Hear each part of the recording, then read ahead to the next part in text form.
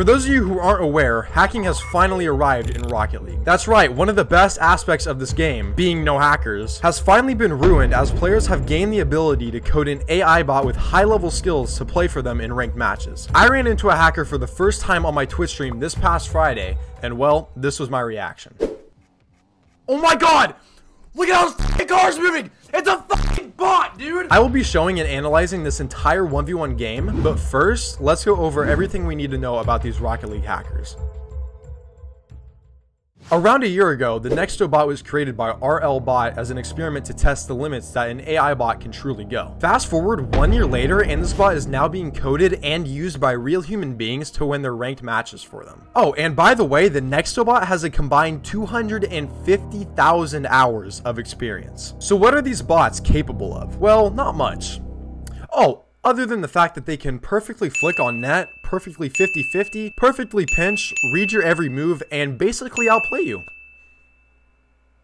Yeah, it's fucked up. So how can you tell if you're facing a bot? In the moment, the easiest way to know is to watch the replay when they score on you. And trust me, they will definitely score on you. Their car will make micro adjustments and glitch while it tries to lock onto whatever it's attempting to lock onto. Another way to know if your opponent is a bot or not is to challenge them whenever they have possession of the ball. If this is indeed a bot, it should be able to flick the ball at the perfect time on net. That is because these bots have a radius around them that they react to once you enter it. That's why they also make these micro adjustments and glitch out a little whenever you're anywhere around them. They also play only in free cam. These are some perfect examples to prove this one specific player is a bot. The bot remains remains in free cam this entire game and somehow reads these impossible reads. One way I learned to spot these bots out is if the bot were to win, look at the winner circle after the game ends, and if it is a bot, they should be boosting in a straight line. Another way to tell post game is to save the replay and look at the opponent's point of view. You can also look up their user on Rocket League Tracker and look at their MMR over the past few days. I ended up looking up the stats of the first bot that I played, and these were his stats. On January 11th, he was in plat, as he had been for the past 9 months. Fast forward five days later, and all of a sudden, he's in Grand Champion 2. Then, if we look at his ones rank, he was Plat 1 on the 8th of January and ended up in Champ 3 nine days later. This may actually be the best way to tell if you went up against a hacker or not, because it is most likely going to be the lower ranked players that code these bots to play for them so that they can get an easy carry. But now that we have gone over everything that you need to know about these Rocket League bot hackers,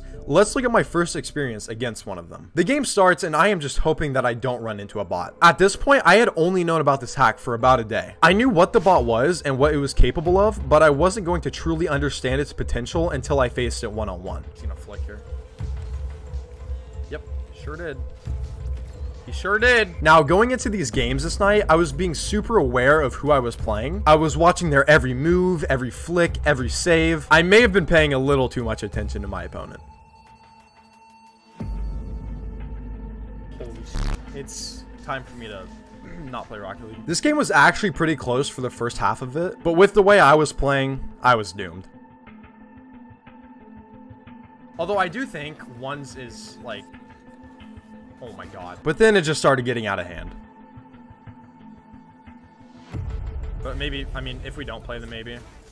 Holy shit, man. It was goal after goal after goal, and I still was not understanding what was going on. He's gonna flick it, I know he is. But then, I was starting to catch on a little bit.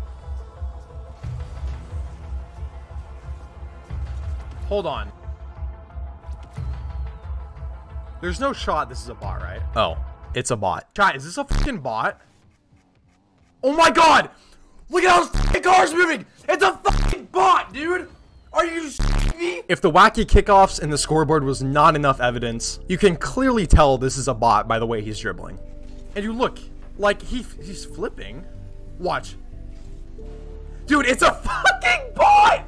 It's an actual, oh my god. So the reason I think it's a bot is because every kickoff he does, he just drives in a straight line. I believe the bot has been updated to do speed flips now, but at the time, all the bot could do on kickoffs was just drive straight and try to read where you were hitting it. I'm getting fucking destroyed. That's amazing. I literally could not believe my eyes. And at the time that I am recording this, I have now come across four different bots. And my friend Lamar has come across at least 10. And the crazy thing is that they can also split screen bots. Can you believe that? This is an issue that severely needs to be fixed as it is literally ruining ranked gameplay in Rocket League. The fact that I am hesitant to go into a ranked game because I'm afraid I'm going to get beat by a bot is a huge issue in the game. So it's a day later and Psyonix actually came out with a Reddit post updating us on the whole bot situation. They basically said that they are aware of the bot accounts and that they have sent out a ban wave that should cover uh, most of the accounts. So after all, it does look like the bot accounts are finally coming to an end. I think we can all agree when I say that Psyonix was already on top of this situation whenever it first became a problem, but it just would have been a little better if they would have come public with it like day one. But let me know your guys' opinions on these bot accounts and the experiences that you've had with them. Thank you guys for watching this video, and I'll see you guys in the next one. It's a fucking bot. It's a fucking bot. It's actually a fucking hacker. Holy shit. That is so sad. Dude, what the fuck?